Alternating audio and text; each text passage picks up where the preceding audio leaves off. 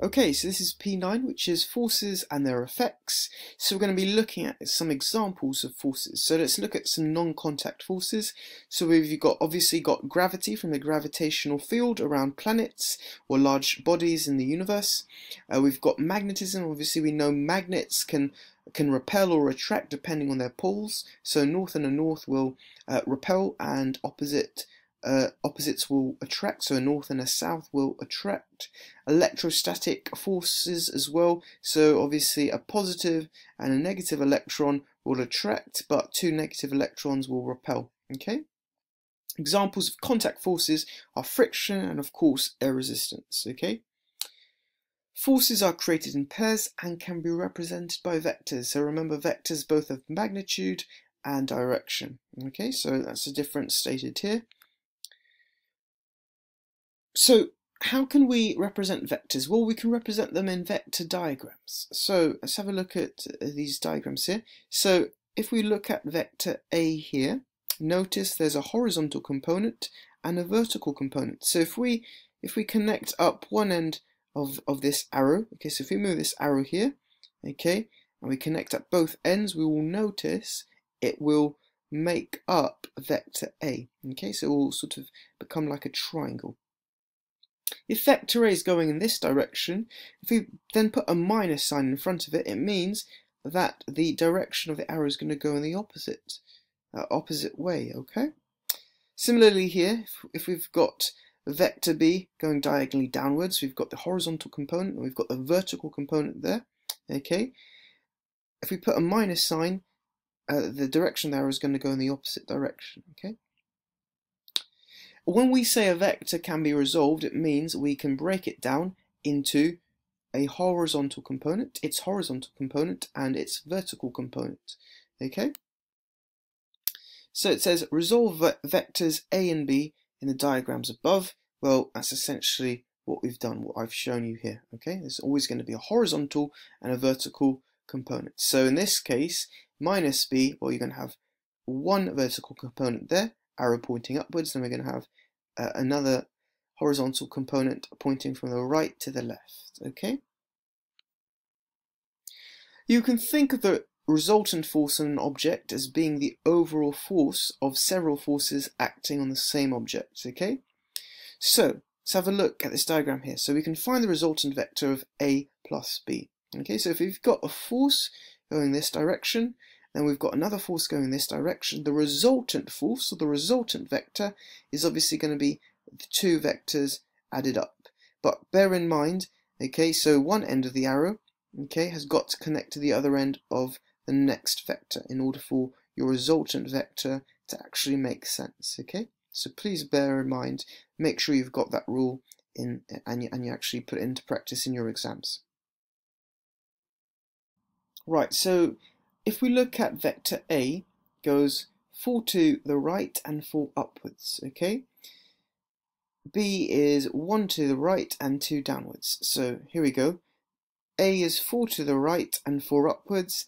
Now in this case, because the resultant um, vector they want us to find is A minus B, we're going to go 1 to the left and then 2 upwards. So it's essentially the opposite of this vector here, okay? And then again, we, we connect up uh, the, the start and finish points of the individual vectors, and then that is our resultant vector. So R is A minus B. Let's have a look at this one. So B minus A. So B is our original vector there, okay, minus A. So A is now uh, in the opposite direction, so it's B minus A. Our resultant vector is going to be like this, okay? What about minus a minus b? Well, essentially it's going to be the opposite of this vector there and the opposite of that vector there. Okay, so minus a minus b gives us the resultant vector r drawn there. Okay, so just again pause the video if there's anything you're unsure of. Uh, you know, so those are your original vectors, and all we're doing is if there's a minus sign, the arrow is in the opposite direction, and obviously if there's an invisible plus, uh, it means it's the original vector. Okay. So if there's no resultant force, we say that the forces are in equilibrium. Okay, you can tell if there's no resultant force because after you've added all the vectors, you will literally be back to the point where you started. Okay, so that's how you know if the forces are in equilibrium. So let's have a look at this next example. It says, find the resultant force of the two vectors drawn in the diagram. Okay, so there's one here and there's one there. Add the single force that would be needed to keep the plane in equilibrium. Okay, so first of all, let's do the resultant force. So it's this one here, it's drawn for us here.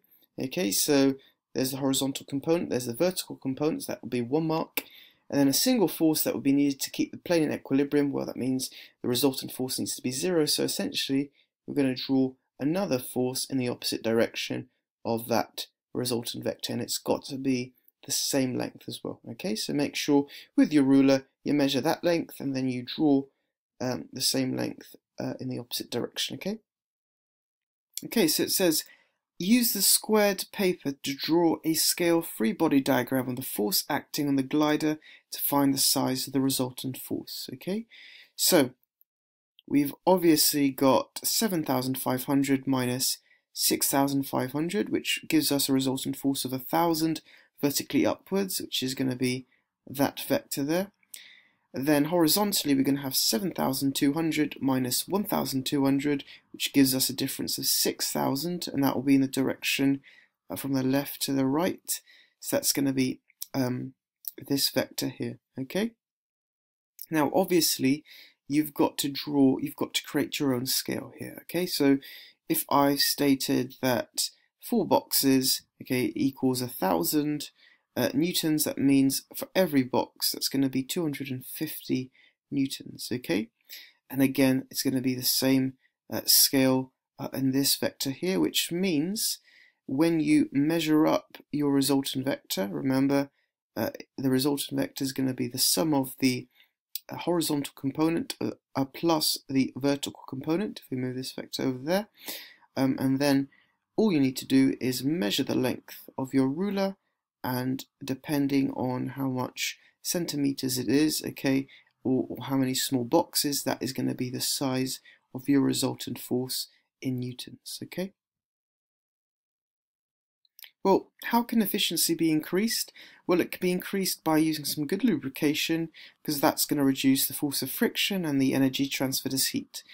Otherwise, you can also increase efficiency by finding another use for the energy that would otherwise be wasted. So for example, if it was a heat, you could use that heat to boil some water and that way uh, that uh, thermal energy is not being wasted, it's actually being used for something. Okay.